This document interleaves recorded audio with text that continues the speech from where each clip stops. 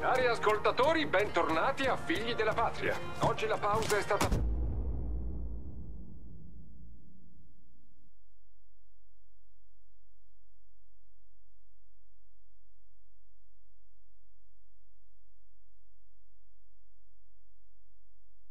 Mmm, ci voleva proprio.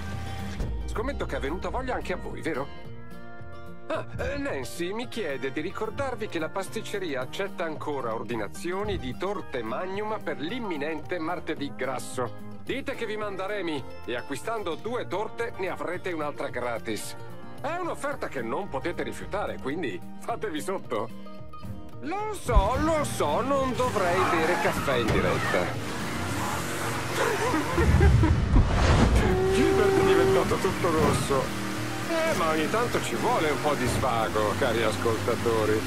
Ed è proprio quello che ci aspettiamo dal martedì grasso. Un po' di caro vecchio divertimento in stile New Bordeaux. Scusate l'entusiasmo, ma non posso farci nulla. Vi ho già detto quanto sia onorato di far parte della corte dei cavalieri per il decimo anno consecutivo. Vi abbiamo preparato un carro allegorico incredibile senza badare a spese.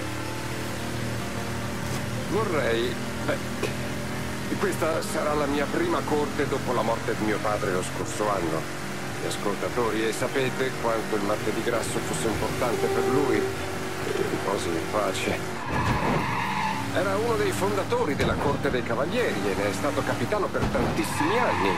Forse gli ascoltatori più avanti con gli anni ricorderanno che nel 32 aveva interpretato il re. Beh, in quell'occasione era stato settimane, anzi mesi a prepararsi. Che uomo. Quello che più apprezzava, oltre alla tradizione, era sapere di far parte di qualcosa in questa città che tanto amava. Mio padre era convinto che ogni uomo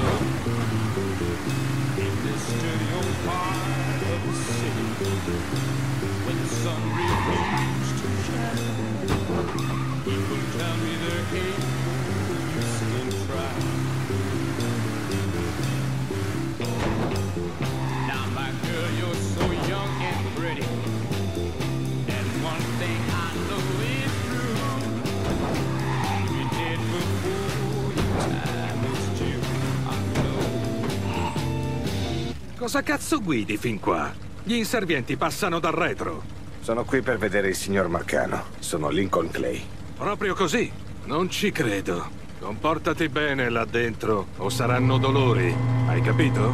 Parcheggia sul lato.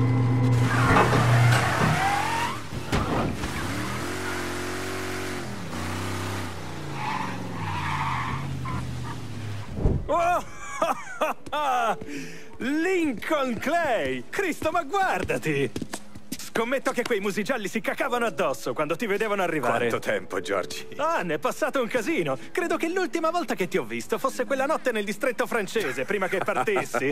Diamine, ci siamo divertiti. Oh, ricordo che io ed Ellis scappavamo dai piedi piatti e che Danny finì in cella con la sbornia. Eh, gli ho pagato la cauzione. E poi ne è valsa la pena per pestare a sangue quegli stronzi bianchi. Fumi? E certo. Ragazzi, Sammy dice che il signor Marcano vuole vedermi. Signor Marcano? Merda! Lo fai sembrare un dannato avvocato. Puoi chiamarlo Sal. Andiamo, è sul retro.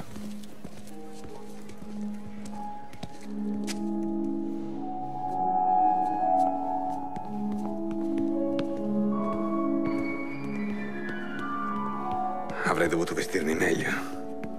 Se uno di questi sfigati ha un problema con i tuoi vestiti, possono parlarne col mio vecchio. Gli dirà di baciargli il culo. ecco a che serve avere così tanti soldi. Remy, è sempre un piacere. Olivia, mi spiace interromperti, c'è qualcuno che devo vedere. Altri due bicchieri. Lincoln. È bello rivederti. Questo è Vito Scaletta. È la persona di cui ti ho parlato. Su, Lincoln, siedi. Sei stato in Vietnam, eh? Sì, signore. Sal dice che ti sei guadagnato qualche medaglia. Mi trovavo con dei bravi soldati. Non avrei combinato niente senza di loro. Esercito? Marines? Esercito all'inizio. Poi sono stato reclutato dal quinto SFG. Forze speciali? Te l'avevo detto che era speciale. Non che la situazione debba precipitare, ma se succede, cazzo, non vuoi un uomo del genere dalla tua parte? Beh, se garantisci tu per lui, Sal, a me basta e avanza. Senti, devo occuparmi di un paio di cose. Grazie per il drink.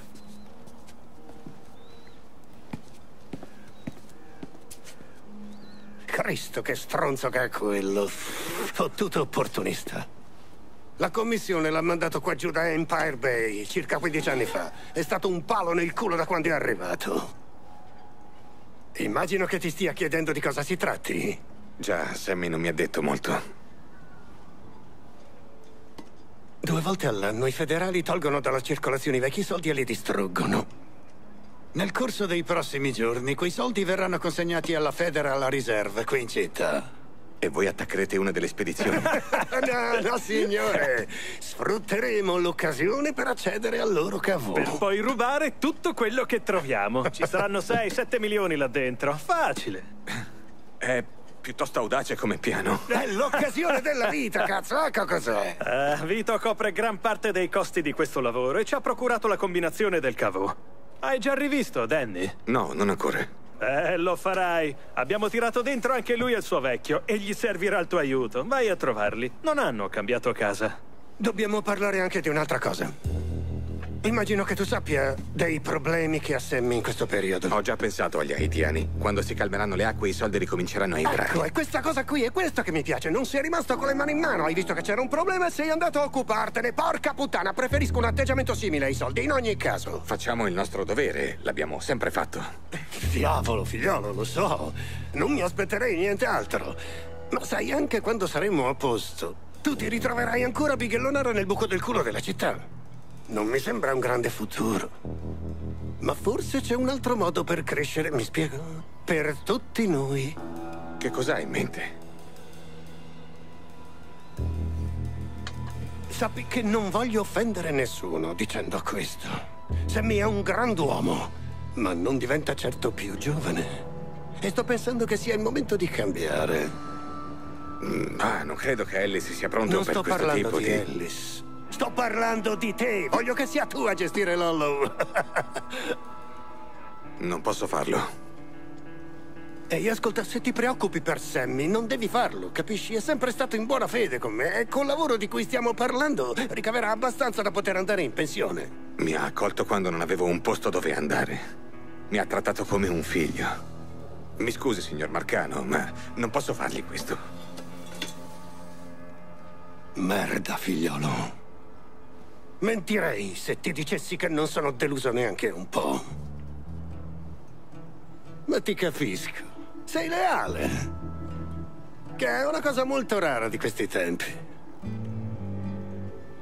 Volete ancora che vi aiuti quella faccenda di cui parlavamo? Ah, certo che sì, cazzo! e alla fine di tutto quanto sarete tutti più che in pari con me, alla mia parola. Che cosa volete sentire? Che rapivamo e torturavamo chiunque fosse sospettato di lavorare con i Viet Cong? Sto cercando di appurare il livello di addestramento che Lincoln Clay ricevette durante la sua permanenza in Vietnam. Non c'è bisogno di addestrare uno del genere. Lo punti nella direzione giusta e poi ti levi dalle palle.